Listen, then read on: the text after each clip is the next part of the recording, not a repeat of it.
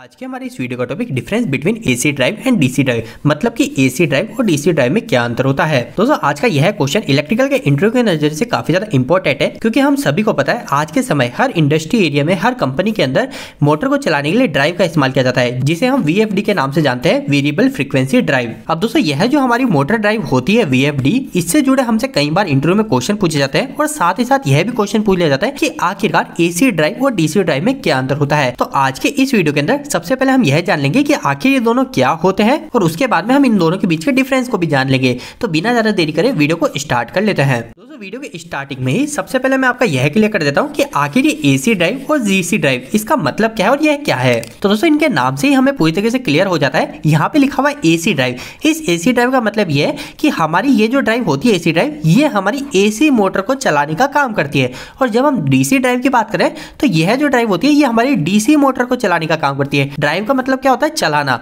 तो सिंपल सी बात है एसी ड्राइव का मतलब एसी मोटर को चलाने वाली ड्राइव और डीसी ड्राइव मतलब डीसी मोटर को चलाने वाली ड्राइव इसके बाद में दोस्तों नेक्स्ट हमको यह जान लेना चाहिए कि आखिर इन दोनों ड्राइव का इस्तेमाल क्यों किया जाता है। तो दोस्तों सिंपल सी बात है, यह जो दोनों ही ड्राइव होती है, वह हमारी मोटर की स्पीड को कंट्रोल करना होता है। चाहे हम डीसी ड्राइव की बात करें, चाहे हम एसी ड्राइव की बात करें, इसके अलावा हमारी ड्राइव से हमारी मोटर को प्रोटेक्शन तो मिलती है, लेकिन वो हमारे पास में सिर्फ़ एक एडवांटेज है। हमारा जो मुख्य काम होता है इन ड्राइव का, वो होता है हमारी मोटर की स्पीड को कंट्रोल करना और इसीलिए हम इन ड्राइव का उपयोग भी करता हैं।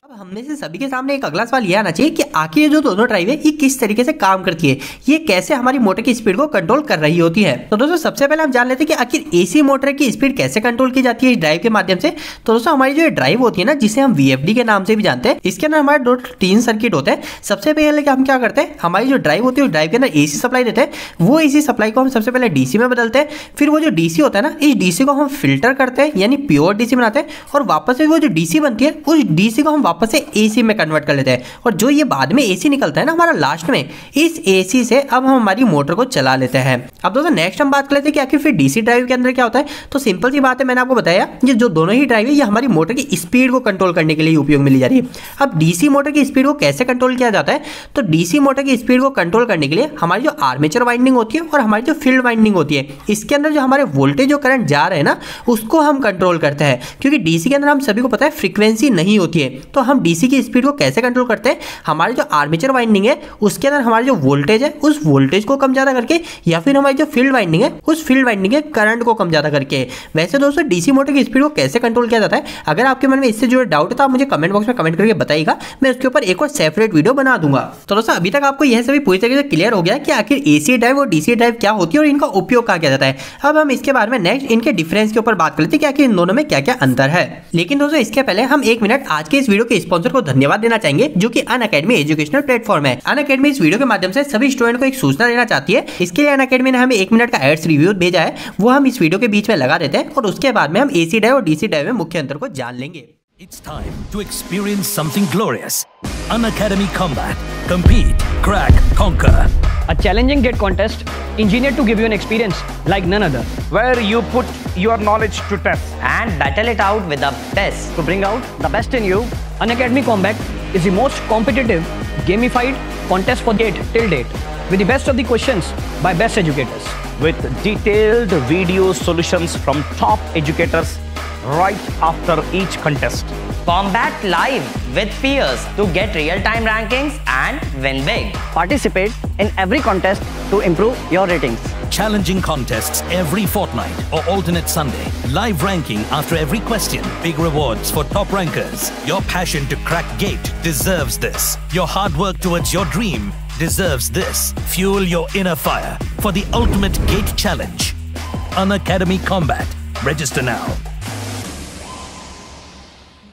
अभी जो आपने अन अकेडमी के कॉम्बैक्ट सीरीज़ का जो एड देखा तो अगर आप उसे फ्री में इनरोल करना चाहते हो तो इसका लिंक आपको इसी वीडियो के डिस्क्रिप्शन बॉक्स में मिल जाएगा। और अगर हम इसकी डेट की बात करें तो वो है 16 दिसंबर शाम 6 बजे। अब दोस्तों, इन सभी के बाद में हम नेक्स्ट हमारे टॉपिक के ऊपर जाते हैं और हम हमारे एसी ड्राइव और डीसी ड्राइव में डिफरेंस की बात कर लेते हैं। तो सबसे पहले जो मुख्य डिफरेंस आ जाता है, वो आ जाता है कि हमारे आउटपुट वैल्यू से, कि आखिर हमें एसी ड्राइव में आउटपुट क्या मिल रहा है और डीसी ड्राइव में आउटपुट में क्या मिल रहा है। तो यह काफ़ी ज़्यादा सिंपल सी बात है। हम सभी को पता है एसी ड्राइव से हमारी एसी मोटर चलती है तो इसके आउटपुट में हमें एसी सप्लाई मिलेगी। जबकि डीसी ड्राइव से हम डीसी मोटर चला रहे हैं तो इसके आउटपुट से हमें डीसी सप्लाई मिलती है। नेक्स्ट दोस्तों, इनकी कॉस्ट के ऊपर बात आ जाती है कि आखिर हमारी कौन सी ड्राइव ज़्यादा महँगी होती है? तो दोस्तों, हमारी जो एसी ड्राइव होती है, ये एसी ड्राइव हमारी ज़्यादा हाई एक्सपेंसिव होती है। मतलब हमारी एसी ड्राइव महँगी होती है, जबकि हमारी डीसी ड्राइव की कॉस्ट कम होती है। अब सभी के मन में यह क्वेश्चन आएगा कि एसी ड्राइव की कॉस्ट ज़्यादा क्यों है? तो दोस्तों, जैसा कि मैंने आपको बताया था एसी ड्राइव के अंदर क्या करना पड़ता है? हमें सबसे पहले एसी को डीसी में बदलना पड़ेगा, फिर बाद में वापस से डीसी को फ़िल्टर करके, फिर वापस से एसी बदलना पड़ेगा। तो यहाँ पे जो हमारा पावर और कंट्रोल सर्किट हो जाता है काफ़ी ज़्यादा डिफ़िकल्ट हो जाता है। तो इसलिए हमारी जो एसी ड्राइव होती है, महँगी आती है। जबकि डीसी के अंदर ऐसा कुछ भी नहीं होता है। इसके बाद में दोस्तों, तीसरा डिफरेंस इनके वज़न के आधार पर भी किया जा सकता है। तो दोस्तों, अगर आप सेम पाँच एचपी की एक एसी ड्राइव को लेते हो और पाँच एचपी की आप डीसी ड्राइव को लेते हो तो हमारी जो पाँच एचपी की डीसी ड्राइव होती है, सबसे पहली चीज़ तो ये छोटी भी होगी और साथ ही साथ ही हल्की भी होगी। जबकि एसी ड्राइव जो होती है, ये एसी ड्राइव हमारी डीसी ड्राइव की अपेक्षा काफ़ी ज़्यादा बड़ी होती है साइज़ में और ये हमारी भारी भी होती है, क्योंकि हम सभी को पता है इसके अंदर सर्किट भी बड़ा उपयोग किया जा रहा है। इसके बाद में दोस्तों, एक और चीज़ जो हम सभी को ज़रूर पता होनी चाहिए कि हमारी जो एसी ड्राइव होती है, ये एसी ड्राइव हमारे हार्मोनिक क्रिएट करती है। हमारे एसी ड्राइव में सब चीज़ अच्छी है, लेकिन सबसे बुरी जो एक चीज़ है, वो है हार्मोनिक क्रिएट करना। अब आखिर ये हार्मोनिक क्या है? आपके मन में इससे जुड़े सवाल है तो इसके ऊपर मैंने ऑलरेडी वीडियो बना रखा है। वो वीडियो आपको इसी वीडियो के एंड मिल जाएगा। वहाँ से वीडियो देख लीजिएगा, आपको हार्मोनिक पूरी तरीके से क्लियर हो जाएगा। लेकिन दोस्तों, अगर हम डीसी ड्राइव की बात करें तो डीसी ड्राइव के अंदर हमारे किसी भी प्रकार की कोई हार्मोनिक क्रिएट नहीं होता है। इसके बाद में दोस्तों नेक्स्ट चीज़ आ जाती है हमारी जो पावर है, वो पावर कौन ज़्यादा कंज्यूम करता है? तो दोस्तों, यहाँ पर भी हमारा जो एडवांटेज है, वो एसी ड्राइव को ही मिलता है। एसी ड्राइव जो होती है, वो हमारे लेस पावर को कंज्यूम करती है और जबकि हमारी जो डीसी ड्राइव होती है, ये डीसी ड्राइव हमारे एसी ड्राइव के मुकाबले हाई पावर को कंज्यूम कर किसी भी सेम रेटिंग की मोटर को चलाने के लिए। और इसी ज़्यादा पावर को कंज्यूम करने के कारण हमारी डीसी ड्राइव को हम लो एफिशिएंट ड्राइव भी बोलते हैं, जबकि एसी ड्राइव जो होती है, वो हमारी हाई एफिशिएंट ड्राइव कहलाती है।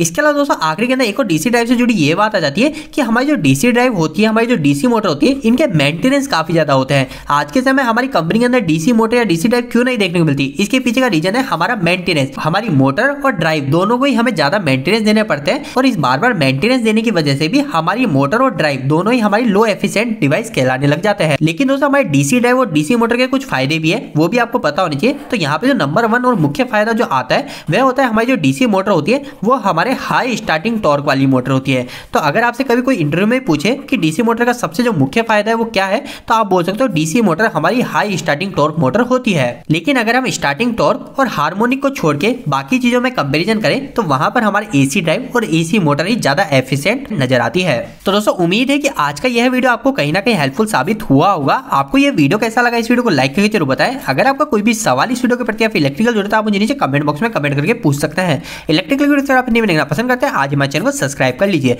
आज के लिए इतना ही, धन्यवाद।